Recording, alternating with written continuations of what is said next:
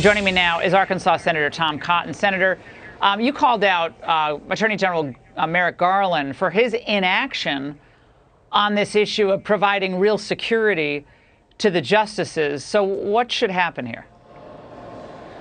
Well, Laura, there's a lot of things that should happen. First off, Chuck Schumer uh, should go out and apologize for encouraging Democratic street militias to target the homes of Supreme Court justices. Now he's inspired a Democratic hitman to fly all the way across the country to try to kill one of these justices.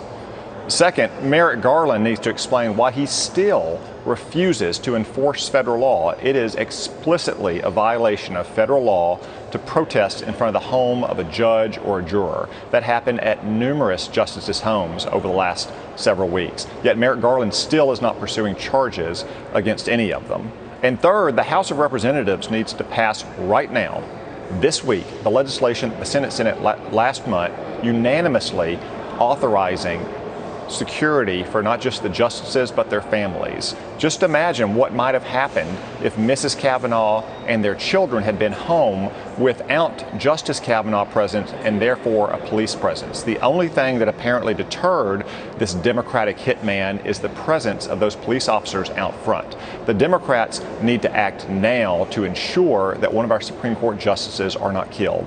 And finally, as you said, Laura, as I said at the time, I urge the Supreme Court to issue the Dobbs opinion now. However they rule, they need to issue the opinion so Democratic hitmen won't think they can change the court's direction in this case by killing a Supreme Court justice. Yeah, uh, John Roberts has got to just get this together. This this investigation's dragging on. I'm not sure what the heck's taking so long about the leak or issuing the opinion at this point, but this is for everyone's health and safety.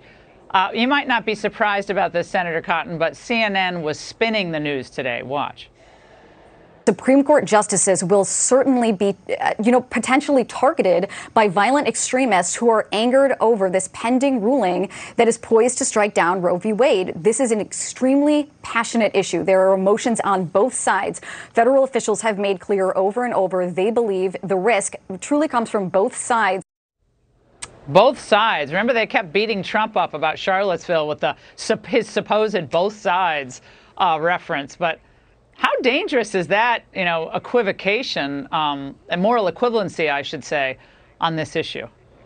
Well, it's the exact kind of danger posed when Chuck Schumer went across the street to the Supreme Court, just blocks from where I stand right now, and threatened Brett Kavanaugh by name, said that he would pay the price and that he wouldn't know what hit him if he went forward with decisions that Chuck Schumer and liberal Democrats didn't like. And now you have a Democratic hitman showing up at Brett Kavanaugh's home.